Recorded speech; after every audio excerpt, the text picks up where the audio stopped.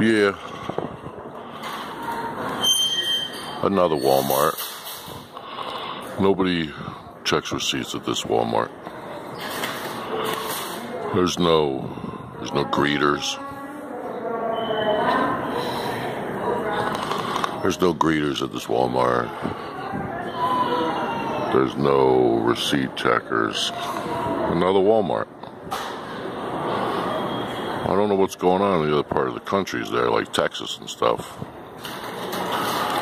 But we don't have any. Uh, we don't have any receipt checkers at Walmart's in New Jersey. This is the third one in my tour of Walmarts. Check greeters and greeters. They're non-existent. Non-existent in New Jersey. Nobody checks receipts. Nobody greets you. Course, they give me a little bit of a stink eye because I'm standing here. But uh, I'll get over that. But this one's pretty dead today over here in Rockaway, New Jersey. Pretty dead.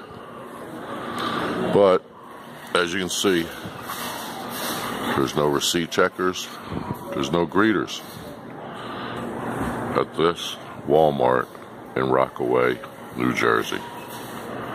Right off of Interstate 80, the Rockaway by the Rockaway Mall. No greeters,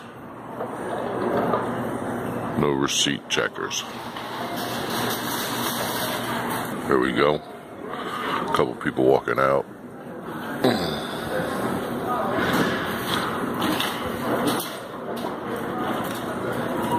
Stuff under the cart. No receipt checkers. No greeters.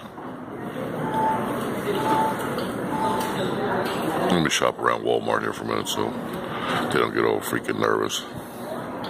The tour of Walmarts in New Jersey continues.